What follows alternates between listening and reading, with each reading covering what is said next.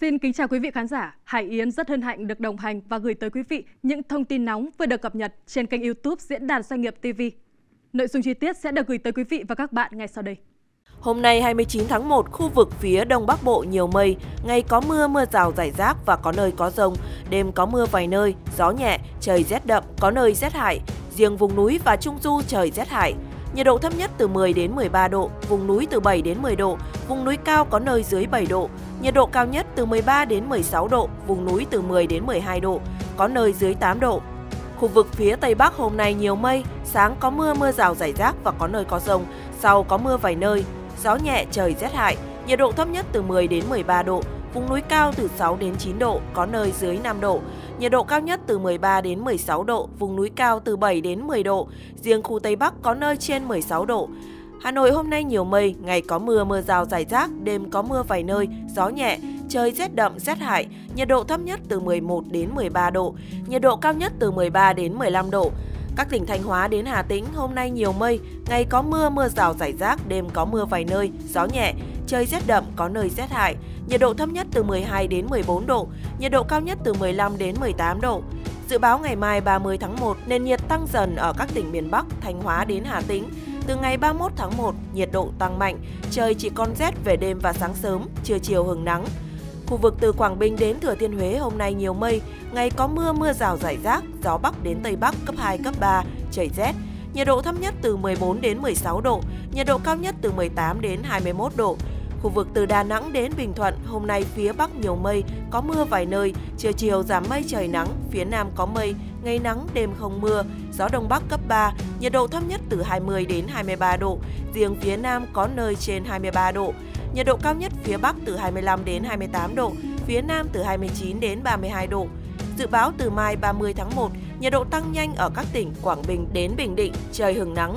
Tây Nguyên hôm nay ngày nắng, đêm có mưa vài nơi, gió Đông Bắc cấp 2, cấp 3, nhiệt độ thấp nhất từ 15 đến 18 độ, nhiệt độ cao nhất từ 26 đến 29 độ.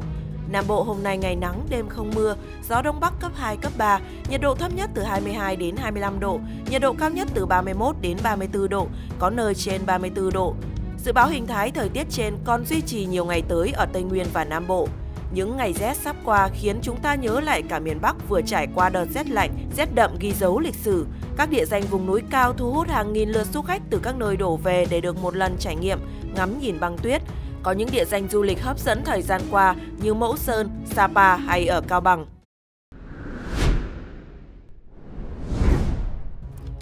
Theo hướng dẫn của Bộ Y tế, vào mùa lạnh, một số vấn đề sức khỏe thường gặp là cảm lạnh, hèn suyễn, viêm họng, viêm phổi, bệnh phổi tắc nghẽn mãn tính, cúm, đột quỵ, ngộ độc khí than do sưởi ấm, đun nấu. Một số đối tượng có nguy cơ cao gồm người già, trẻ nhỏ và phụ nữ có thai, những người làm việc ở ngoài trời hoặc trong môi trường lạnh, gió rét, thiếu ánh nắng mặt trời, người lao động nông nghiệp, công nhân, những người mắc các bệnh mãn tính như tăng huyết áp, hen suyễn, tim mạch, cơ xương khớp. Cách phòng lạnh cho người dân Đối với người già và trẻ em, cần hạn chế đi ra ngoài trời khi thời tiết quá lạnh và gió mạnh, đặc biệt trong khoảng thời gian từ 9 giờ đêm đến 6 giờ sáng. Khi ra ngoài thì nên trang bị đủ trang phục ấm, che chắn được gió lùa như áo khoác, quần dài đủ dày để giữ nhiệt, khăn choàng, mũ, găng tay, tất, khẩu trang. Luôn giữ cơ thể khô ráo, tránh bị ẩm ướt, đặc biệt là vùng cổ, tay, chân mỗi khi ra đường và khi ngủ để hạn chế các bệnh do cảm lạnh. Tránh tiếp xúc với khói thuốc, khói bếp than, không nên uống rượu bia, tránh các đồ uống có chứa chất kích thích như caffeine. Không nên tắm khuya sau 22 giờ, tắm quá lâu hoặc tắm nơi không kín gió vì dễ bị sốc nhiệt, nguy hiểm đến tính mạng. Sử dụng nước ấm để tắm, vệ sinh thân thể. Cần vệ sinh miệng, họng sạch sẽ thường xuyên hàng ngày như đánh răng đều đặn trước và sau khi ngủ dậy. Xúc miệng bằng nước ấm có pha muối loãng giúp sát trùng cổ, họng và hạn chế viêm họng. Thường xuyên rửa tay với xà phòng để loại bỏ vi khuẩn. Tiêm vaccine để phòng ngừa bệnh cúm, ăn uống đủ chất, đảm bảo năng lượng cho cơ thể chống rét. Trong đợt không khí lạnh cực mạnh lần này, đỉnh Mẫu Sơn ghi nhận nhiệt độ xuống thấp kỷ lục từ đầu mùa đông, khi nhiệt độ giảm xuống còn âm 2,5 độ C, xuất hiện hiện tượng băng giá. Việc đỉnh Mẫu Sơn xuất hiện hiện tượng băng giá đã thu hút hàng ngàn lượt du khách lên đỉnh Mẫu Sơn check-in, gây ùn tắc giao thông nghiêm trọng. Theo thống kê của Phòng Quản lý Khu du lịch Mẫu Sơn, ngay từ chiều ngày 22 tháng 1, khu du lịch Mẫu Sơn, huyện Lộc Bình đã thu hút hơn 2.000 lượt khách lên ngắm băng giá. Theo thông tin từ trạm khí tượng Mẫu Sơn, nhiệt độ tại đỉnh Mẫu Sơn những ngày qua ghi nhận dưới âm độ C. Toàn bộ đỉnh Mẫu Sơn tiếp tục được bao phủ trong lớp băng giá. Bất chấp thời tiết khắc nghiệt, nhưng nhiều du khách từ khắp nơi vẫn đổ về khu du lịch Mẫu Sơn để ngắm băng giá. Bước sang ngày thứ ba, băng giá trên đỉnh núi Mẫu Sơn trở nên dày và đẹp, lung linh hơn, vì thế khu vực này ngày càng thu hút đông du khách. Có những thời điểm ở nhiều cung đường nhỏ dẫn từ chân núi lên đỉnh Mẫu Sơn đã có hiện tượng tắc đường cục bộ.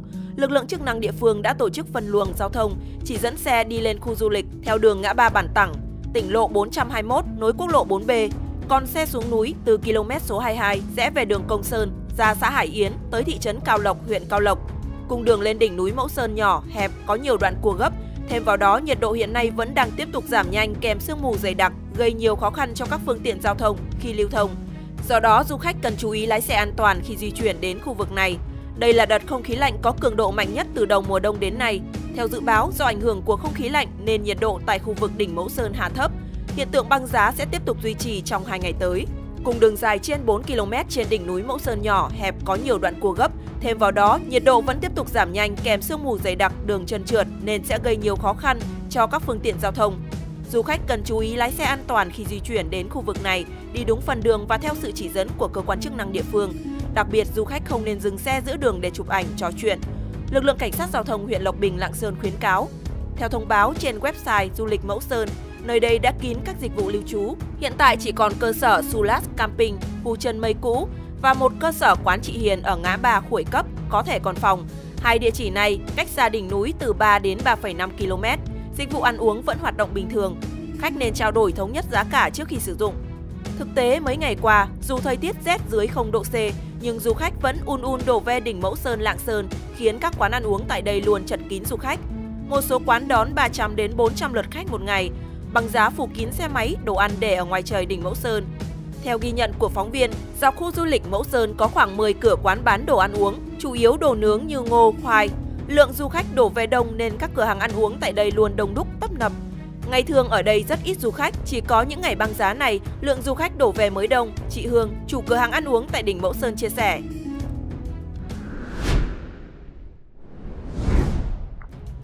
Trước đợt rét đậm rét hại cực mạnh đang hoành hành tại miền Bắc, Thủ tướng Chính phủ Phạm Minh Chính vừa ký ban hành công điện số 08 ngày 23 tháng 1 năm 2024 về việc chủ động phòng chống rét đậm rét hại kéo dài. Công điện gửi Chủ tịch Ủy ban nhân dân các tỉnh, thành phố Hà Giang, Cao Bằng, Bắc Cạn, Tuyên Quang, Lào Cai, Lai Châu, Điện Biên, Yên Bái, Sơn La, Hòa Bình, Lạng Sơn, Thái Nguyên, Phú Thọ, Bắc Giang, Vĩnh Phúc, Hà Nội, Bắc Ninh, Hưng Yên, Hải Dương, Quảng Ninh, Hải Phòng, Hà Nam, Thái Bình, Nam Định, Ninh Bình, Thanh Hóa, Nghệ An, Hà Tĩnh, Quảng Bình, Quảng Trị, Thừa Thiên Huế và các bộ Nông nghiệp và Phát triển Nông thôn, Y tế, Tài nguyên và Môi trường, Thông tin và Truyền thông, Đài Tiếng Nói Việt Nam. Công điện nêu, những ngày qua do ảnh hưởng của không khí lạnh cường độ mạnh, toàn miền Bắc đã xảy ra rét hại, vùng núi cao xuất hiện băng giá, ảnh hưởng đến sức khỏe của người dân và sản xuất nông nghiệp. Theo nhận định của Trung tâm Dự báo Khí tượng Thủy văn Quốc gia, đây là đợt không khí lạnh có cường độ mạnh nhất mùa đông năm 2023-2024 những thông tin vừa rồi đã khép lại chương trình của chúng tôi. Hải Yến rất mong nhận được sự quan tâm và đồng hành của quý vị khán giả dành cho các chương trình trên kênh YouTube Diễn đàn Doanh nghiệp TV. Quý vị đừng quên nhấn chuông theo dõi kênh để không bỏ lỡ bất kỳ thông tin cập nhật nào. Xin kính chào tạm biệt và hẹn gặp lại.